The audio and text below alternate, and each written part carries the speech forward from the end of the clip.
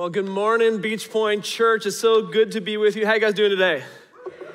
All right, I heard that this is the loud party group, okay? I heard this is the service that makes some noise. So, how you guys doing this morning? Good, awesome. As Bill said, my name is Ken Primeau, and uh, I serve as the lead pastor of Mercy Road Northeast in uh, the northeast suburbs of Indianapolis. Uh, which, in case you're like, where is that? It's in the state of Indiana, which, uh, in case you're like, not sure where that is, it's in the Midwest. Uh, and so uh, it's so good being here. And I want to take a moment, actually, there's people joining with us online. And so, can we give a warm welcome to those who are attending online? Thanks for joining with us. So it feels like coming home, and I see so many familiar faces throughout the room, and uh, it's so great to be here. As Bill had said, my wife actually grew up at Beachpoint Church, and so Bill was her youth pastor, and we have so many great memories of this place. And then we got married here in this room in 2006. Uh, and then I was like, I'm never gonna work at, at, my wife's family church. Like, she grew up there and whatnot. And then 10 and a half years of uh, being on staff here, incredible journey uh, journeying with many of you uh, serving in the trenches together. And so I'm just so grateful to be here. And uh, we, in 2020, we moved at the end of February. I started March 1st, 2020, at a church in Indiana. And uh, the timing was perfect. I mean, because Two weeks later, you might have heard of COVID 19 uh, hit, shut the world down. And so people were calling, and it was like April, May, uh, and they're like, How's Indiana? We're like, We don't know. We haven't left our house yet. They're like, How's the food? We haven't eaten anywhere yet, you know? Like, how are the people? We, we're online. We haven't met anyone yet, you know? Uh, so just uh, uh, incredible timing of we arrived there, and then the world shut down. But God has been so good. And in September of 2020, we planted a church uh, and uh, about 30 minutes away from uh, the, the mother church that we were planting out of. And God has been so good. We, in September, went to three services, and the church has been busting at the seams, uh, running out of parking and kid spaces. We're baptizing people. We're helping plant another church right now. And it's just incredible what God has been doing. Uh, but we miss you guys, and so glad to be uh, back home, getting to be here and, and share the updates. You know, I want to challenge us to listen for the voice of God as we're going to read God's word together today. And I think it's one thing to listen, but it's another to obey, right? God might ask us to do things and then we don't actually do it. And the life of a disciple, or we call it an authentic follower of Jesus here at Beachpoint, the life of a disciple is a life of listening to Him and then putting it into practice and obeying. And I, I, think some of the things that we're going to talk about today, we might just want to listen and not actually do it. So I want to pray that we would actually obey. So, Jesus, I pray you would speak, God, that as we uh, read through your word, um, God, that you would be present in this place, God. We have seen your faithfulness in the past, and God, I pray that you would be faithful right now, God, to show up. Your Holy Spirit, God, would speak to us, God, that we would have ears to listen, and then, God, that we would actually obey and do what you're asking us to do. We pray this in Jesus' name. Amen. Well, Bill told me that you guys are doing this series called Blueprint. You're going through the Beatitudes, and he asked me to speak to you about mercy. And the first thing that popped into my mind was a Karate Kid. You guys remember the Karate Kid? So in a Karate Kid, the, the instructor of Cobra Kai, he's a man named Kreese, and he tells his students, we do not train to be merciful here. Mercy is for the weak. We all love that line, right? Mercy is for the weak. Here in the streets, in the competition, a man confronts you. He is the enemy. An enemy deserves no mercy. Mercy is for the weak. That's the slogan of Cobra Kai, but it's also the slogan of many people in our culture today. That you have to fight to get yours and I've earned what I've got. They deserve what they're getting. I, I worked for this. Mercy is for the weak. But in the kingdom of God, all of that is turned upside down. And as we read through the Beatitudes, you see the kingdom of God is a complete reversal. And in reality, mercy is not for the weak, mercy is for the merciful. And if you give mercy, God promises that you'll be the type of person that will receive God's mercy. Matthew chapter 5, verse 7, it says this Blessed are the merciful, for they'll be shown what? They'll be shown mercy. Blessed or happy are the merciful. Why? Because they will receive mercy from God for themselves. Now we gotta define mercy, and you've maybe heard it defined various different ways. I'm gonna steal from uh, my seminary professor, and he said mercy, this Greek word is eleemon, that's uh, in Matthew 5 7, and he defined it this way generous in doing deeds of deliverance. My professor in seminary is a scholar on the Sermon on the Mount, the Beatitudes. He's like a world leading scholar. So I'm like, he seems smart. I'm gonna go with his definition. Mercy is generous in doing deeds of deliverance. And I want us to see two different ways that this plays out this idea of doing deeds of deliverance. Two different ways that we see and experience mercy. And the first way, another word we use, is compassion. It's doing deeds of deliverance to help people who are in need, being the hands and feet of Jesus, showing compassion to the needy and helping them to deliver them out of their need and suffering. So that's the first is compassion we're gonna look at. The second aspect of mercy we're gonna look at is forgiveness, which is delivering someone out of their guilt. Forgiveness, bringing freedom to yourself and another. So we're gonna look at both of those aspects of mercy today. Now, if you turn on the news, if you scroll through social media, right, we get bombarded with the pain, suffering, tragedy that's, uh, that's in the world. And, and this is so unique that now we have at our fingertips, like the first thing you wake up in the morning is like tragedy and a, another school shooting and, and all of this pain and suffering. And if you're someone who has a lot of sympathy or empathy for others, not me, okay? My wife is that way. My wife is wired that way. And if you, the news and the social media and all that stuff, you begin to absorb all the pain of the world. And I don't know that God created us with that in mind of like you and I to play God and absorb the pain and suffering of the world, but it's, it's at our fingertips. And so maybe for you, it's really difficult to be able to watch the news or, or scroll through social media because y- you begin to take it all on and it, it becomes depressing, it becomes too much for you. Or maybe you're like me and you don't have a high level of empathy. I'm just being honest, being, being real here this morning. And some of you are wired like that as well. And it's like you, you can watch the news and handle, and, and you just become numb, right? You just stop feeling. You just stop caring. It's just another thing on the news. And then we have, beyond that, you've got your friends and your family, and you get you know, a prayer request from a neighbor and their kid is going through a, a difficult season. You've got a family member or friend who's battling cancer. You've got a, a tragedy of a friend of a friend who, who lost a loved one. And, and, and you've got the pain and the suffering of your extended friend group.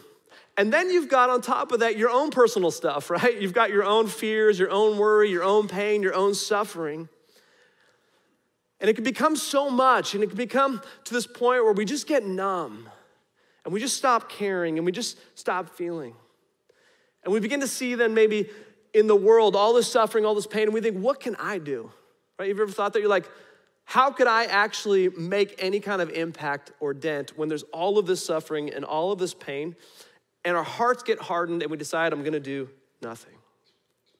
Well, in Galatians chapter 6, verse 9, the Apostle Paul, he writes and he says this let us not become weary in doing good. Let us not become disheartened and to give up and become weary and just go, hey, I'm just not gonna do anything. Don't let your heart be hardened, he says. And then he says, for at the proper time, we will reap a harvest if what? If we do not give up. He's saying, don't disengage, don't give up, don't ignore the hurting and the suffering and the pain in the world. And then in verse 10, he goes on and says this Therefore, as we have opportunity, everybody say opportunity. As we have opportunity, and it's this interesting Greek word, kairos.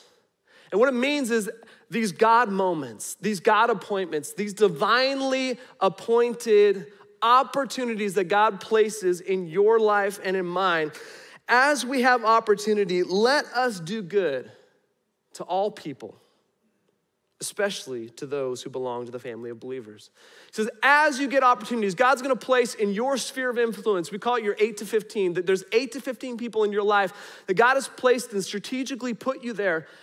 And there is going to be God opportunities if you'll keep your eyes up for you to show the compassion of God doing good deeds, don't get weary of this. God's gonna place in your sphere of influence opportunities for you to do good to all people, but especially to those who belong to the family of believers. And Beachpoint Church, we are called, you are called to be a family and to meet the needs of those around you. And there's gonna be opportunities for you to, to love and show the compassion of Christ to the people around you. And if we can't do that as the family of God, then we won't do that for the world.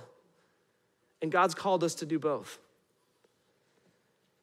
Now, mercy is about having compassion for the needy God has placed in your sphere of influence. And I think many of us, we get overwhelmed with all these needs and we decide, well, I'm just not gonna do anything for anyone.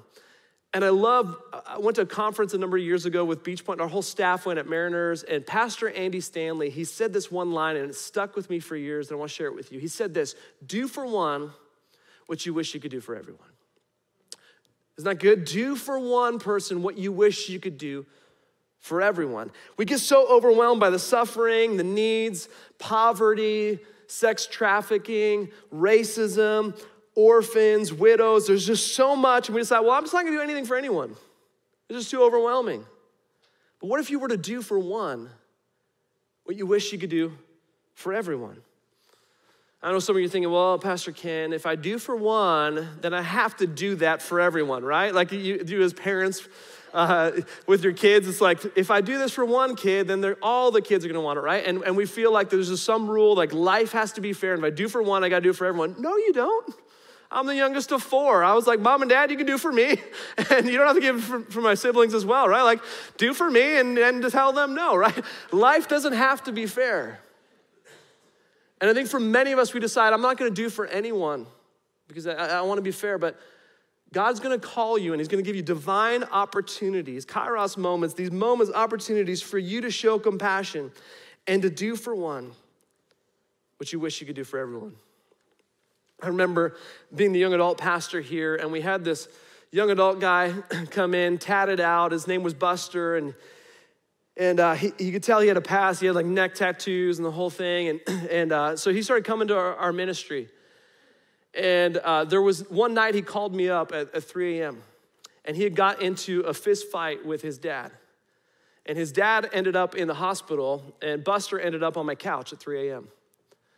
Now, my wife and I, we didn't know him very well at this time. And so uh, we were like, this guy is a little bit sketchy, uh, but we knew God had called us to, to let him come into our house. And, and I was like, honey, hide your jewelry, okay? like, honey, like, like expensive stuff, get like, let's hide things, put things in the safe, okay? Uh, and then, you know, he woke up and, and we began praying, God, what, you know, what do we want us to do? And that turned in from one night, turned into one year of him living on our couch. Actually, we gave him a, a bed eventually and a room.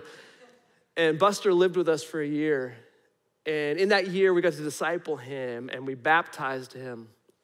And there was the death of the old Buster and the resurrection of the new uh, Manny Gallegos is his name, and many of you uh, know him. And Manny, we got to see the transformation and the healing in his relationship with his dad, and we saw the transformation of his life. Now, we did for Manny what we wish we could have done for everyone, but we couldn't have, you know, 80 or 100 young adults live at our house and sleep on our couch. But we could do that for one. And I was texting with Manny this morning, and he is up at Thousand Pines. He's become a youth pastor, and he's taken a group of students. I believe we have a picture of it. These kids, it's their first time going up to uh, Thousand Pines Christian Camp. And he told me, as of last night, every single one of those kids have given their life to Christ. Isn't that amazing? He's doing for them what he wishes he could do for everyone. And so instead of just having a general concern for students, what if you were to do for one student what you wish you could do for everyone? Instead of just having a general concern for poverty, what if you were to go, hey, I, I wanna invest in, in, in Oakview, as Beachpoint is, in, in an impoverished neighborhood, and, and not only do I wanna give money, but here's what I want to challenge you on as you show the compassion of Christ. To pay the cost of mercy is to go beyond just giving money, which you should do, but also give your time, give your heart, give relationship, serve other people. And so, what if instead of just going, hey, I have a general concern for poverty, to go, hey, I'm gonna do for one family what I wish I could do for everyone? Instead of just having a general concern for orphans, hey, we're gonna do for one what we wish we could do for everyone, and we're gonna adopt. I don't know what God's gonna call you to, but in your sphere of influence, God is going to give you God ordained, divinely opportunities for you to show the compassion and the mercy of God for others. And I want to encourage you to just, instead of going, hey, general, hey, hopefully at some point, no, to do for one, God's going to bring you opportunities, God's going to bring you people, and to do for them what you wish you could do for everyone. And so I want you to ask this prayer Lord, who are you placing in my sphere of influence? That you want me to show mercy and compassion to? Who is my one? And maybe the one is going to change over time. There'll be different seasons, but maybe the one will be even for your family or you as a couple, a married couple, you as an entire family, you might have a one. My wife and I, when we, we, we lived in Huntington Beach, and we had a neighbor, uh, amazing elderly woman who has no family. And so she became our family. She was the one for our family, and we uh, you know, bring meals over and we invite her to Christmas and, and, and she's become part of our extended family and we'll take her to doctor's appointments and, and, and we will, uh, I'm not very handy, but she'll ask me to like come and fix stuff and I'm like, I can change the light bulb, I can do this, you know, and, and we've done for one what we wish we could do for everyone. So maybe it'll be a family thing for you. But that's the first aspect of mercy that we need to learn is because mercy is for the merciful, you and I need to do for one what we wish we could do for everyone. The second aspect of mercy, and this gets a little harder, is the idea of forgiveness.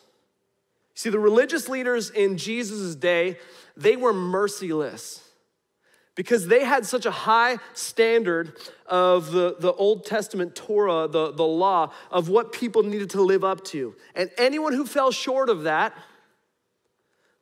they wanted to give judgment, not mercy.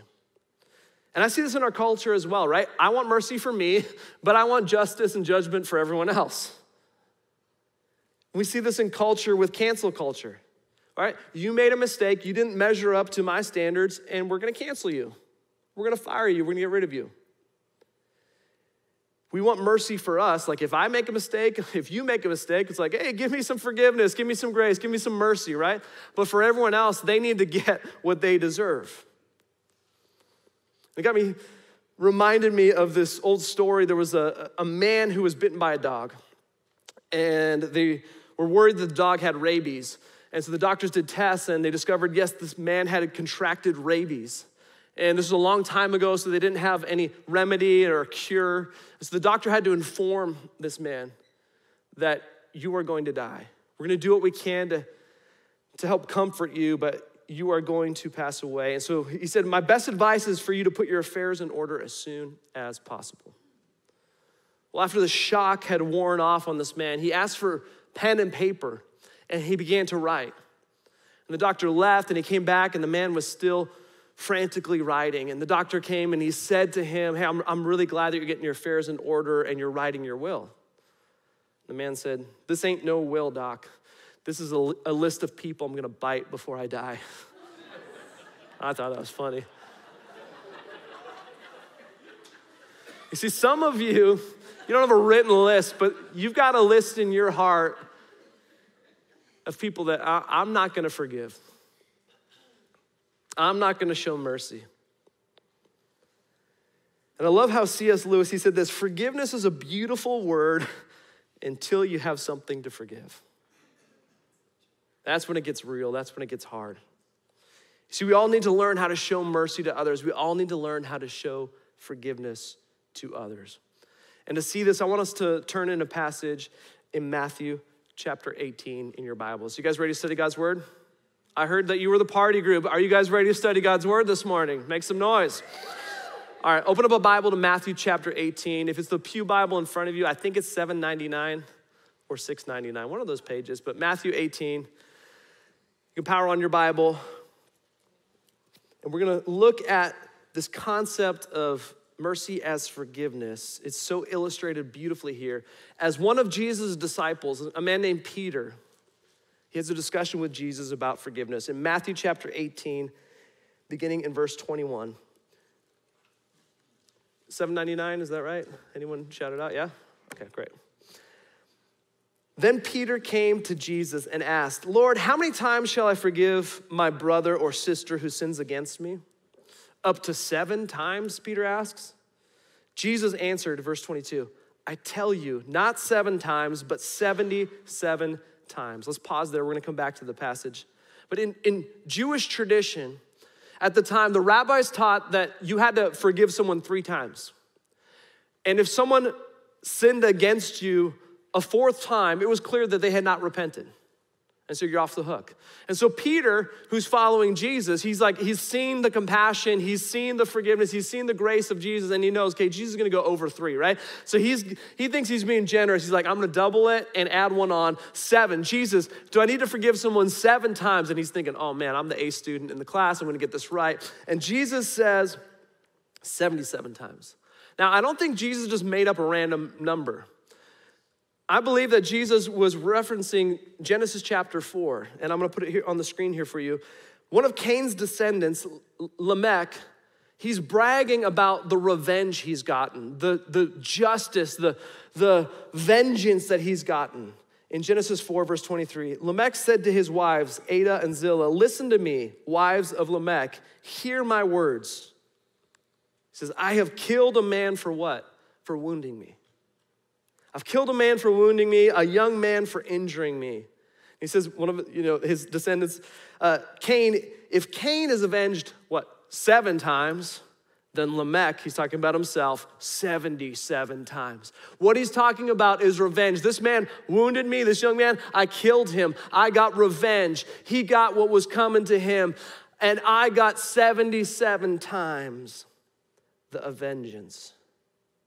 Now, Jesus says the kingdom of God flips that upside down. And instead of getting revenge, I want you to forgive 77 times. I want you to extend the mercy of God 77 times. Now, I want to be clear here. This doesn't mean that you let people walk all over you. Doesn't mean that you're in an abusive relationship and you just let them continue to harm you. You see, forgiveness does not mean trust has been replaced. We need to understand this in our relationships that just because you forgive someone, trust is earned. And trust might need to be rebuilt when it's been lost. But forgiveness is freely given. And so we're called to forgive. And so Jesus tells Peter to forgive over and over again. And then Jesus does what he always does, and he tells a story, he tells a parable to illustrate this truth. And so he goes on to explain Blessed are the merciful, right? For they will be shown mercy by telling the story of a king with an indebted, indebted servant. Verse 23 says this Therefore, Jesus says, the kingdom of heaven is like this. It's like a king who wanted to settle his account with his servants. And as he began the settlement, a man who owed him 10,000 bags of gold, or 10,000 talents, is what it literally says, was brought to him. Since he was not able to pay, the master ordered that he and his wife and his children and all that he had be sold to repay the debt. So the servant owes 10,000 talents which you and I are like, I don't know, is that a lot? Is that a little? Like, I, I don't know what that is. A talent was a, a, a unit of measure, a weight of money that was equal to about 6,000 denarii for one talent. A denarii was uh, one day's wages. So this is about one talent, one bag of gold is 20 years' wages. Someone's got to work 20 years to get that. And this man owes 10,000 of those. Okay, so it would take him like 200,000 years to be able to pay this back. Okay, this is a hyperbole. This amount of debt is insane. This guy has been borrowing money and buying islands. Okay, he's been borrowing money and buying small countries. He's indebted.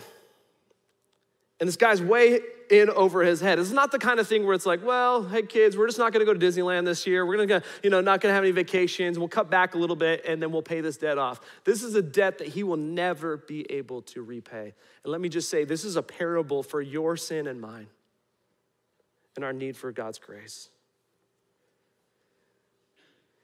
It says, At this, the servant fell on his knees before the king. Be patient with me, he begged, and I'll pay everything back. The servant's master took pity on him, had mercy on him, canceled the debt, and let him go. So, this guy who owes 200,000 years of working wages, the king erases the debt, forgives him, and sets him free. It's the mercy and forgiveness of God. Well, then this man leaves the king's presence and he runs into old buddy who owes him some money. And we read in verse 28, it says this But when the servant went out, he found one of his fellow servants who owed him a hundred silver coins, or literally it's denarii. A hundred denarii. And a denarii, I told you already, was one day's wages. And so this is like a hundred days' wages, about three months worth of income. After a year, two years, three years, the servant would have been able to pay back this debt. But it says he grabbed him and began to choke him. Pay back what you owe me, he demanded. His fellow servant fell to his knees, exact same posture that he had taken, and begged him, Be patient with me, and I will pay it back. But he refused. Instead, he went off and had the man thrown into prison until he could pay the debt. As I read that story, I begin to think to myself, this guy's an idiot. right? Like, what is he doing? He was just forgiven this insane amount of debt, and then he turns and he holds accountable someone else who's got a small, minuscule amount of debt in comparison. I'm like, who does this guy think he is? And then I begin to realize that I'm that man in the story. That I sin and I fall short, and God asks me to do things and I don't do them, and God says, don't do this, and I do that, and I, and I, I fall short. And then in tears, I come back to God and I ask for His grace, His forgiveness, His mercy, and He lovingly extends that to me. And then I turn to my wife and I dish out a lack of grace. I have a lack of mercy towards her. Or I go to my friends or my kids or people who have hurt me and I give them nothing but judgment, anger, justice. And I begin to realize we do this all the time, don't we? We take mercy and grace from God and then we give out unforgiveness. I want mercy for me, but I want justice for everyone else. But mercy is for the merciful. And if you want to be the type of person that experiences the mercy of God in your life, you've got to be the type of person who's willing to extend it to others. The passage continues on. When the other servants saw what had happened, they're upset, okay, like we would be. They're, they're mad. And they went and told their master everything that had happened. Then the master, the king, called in the servant. You wicked servant, he said, I canceled all that debt of yours because you begged me to. Shouldn't you have had mercy on your fellow servant just as I had on you? In anger, his master handed him over to the jailers to be tortured until he could pay back all he owed. And then God says this This is how my heavenly Father will treat each of you unless you, will for, you forgive your brother or sister from your heart. See, when you choose to receive forgiveness, you and I are obligated to extend forgiveness. When we receive mercy, we're ob- obligated to be merciful towards others. And I, I began learning this lesson as a college student at Pepperdine. Uh, I, went to Pepperdine and I met my now wife, Carolyn, uh, our freshman year. And we started dating our freshman year. And then for sophomore year, she went overseas to Germany to study abroad with about 50 Pepperdine students over there. I stayed in Malibu. Uh, I had grown up in Winnipeg, Canada, and I was like, I just got to Malibu. I'm hanging out here on the beach. I'm not going overseas. My wife was born and raised in Huntington Beach, and so she wanted to travel the, the, the world. And so we were dating at the time, and then we did the long distance dating thing. You guys ever been there? Okay, we did the long distance dating uh, thing, and then we took a break from dating, and that break's name was Mark. Okay? There was a guy named Mark in Germany, and, uh, and so Mark had swooped in on our dating relationship, and I was so angry at this guy.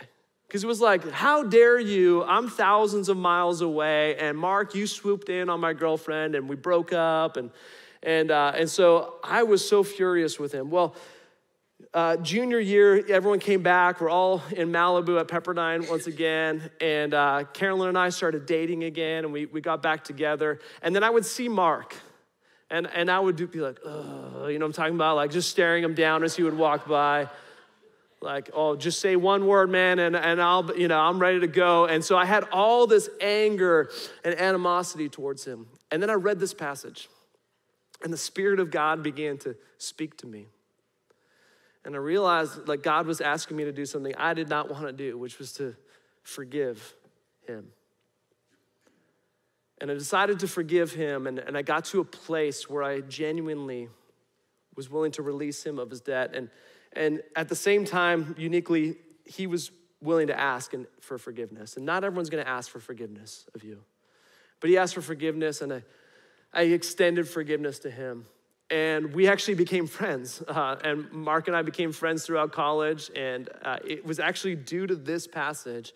And now he's my financial advisor. So you just never know what God's gonna do as you extend mercy to others. You see, the forgiven forgive. Mercy is for the merciful. So I wanna ask you who do you need to forgive? Who's God bringing to mind right now that you need to show them God's mercy that He has extended to you? Now, it doesn't mean that you're gonna be friends like Mark and I were. Trust has to be earned, and, and maybe there won't be that friendship. Maybe the relationship won't be reconciled. But forgiveness isn't just about changing the other person, it's also about releasing your own heart. Now, maybe you're at a place where you're like, hey, Pastor Ken, like, I know who I need to forgive, and I'm just not there yet. They've hurt me, they've abused me, they've harmed me, and I'm not at a place where like I can genuinely release that yet. And maybe for you this morning, it's a prayer of Jesus, I want to get to a place where I can forgive. Would you begin to help me to begin that journey?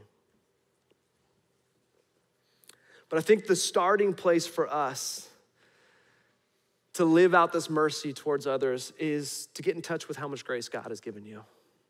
To recognize that you are indebted to God, that you, what you have done, you cannot pay Him back. That you and I have fallen short of the glory of God and we need His mercy. And I love how the Apostle Paul, planted churches all over the place, wrote a bunch of the New Testament, but what, here's what he said about himself in 1 Timothy 1:15. He said, "Here's a trustworthy saying that deserves full acceptance. Jesus Christ came into the world to save sinners." And here's what he said, "Of whom I am the worst." But for that very reason, I was shown mercy. So that in me, the worst of sinners, Jesus Christ might display his immense patience as an example for those who would believe in him and receive eternal life.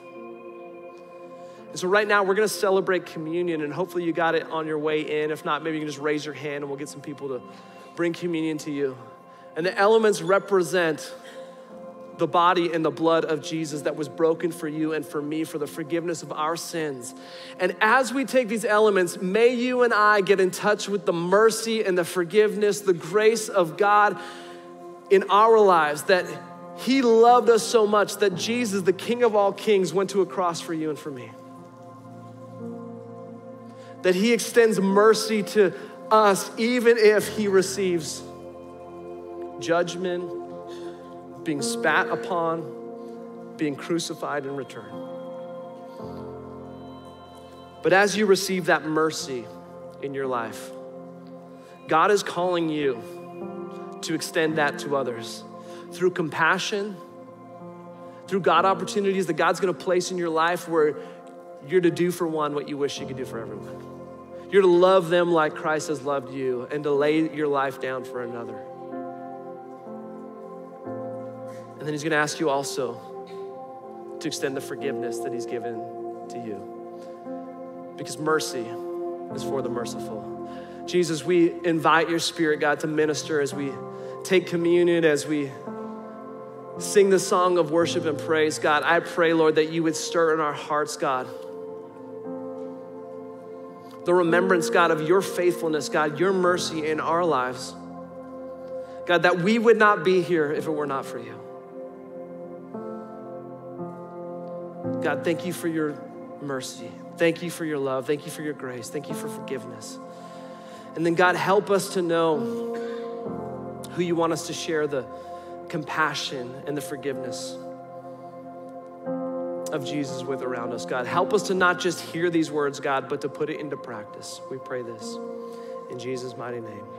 And all God's family said, Amen.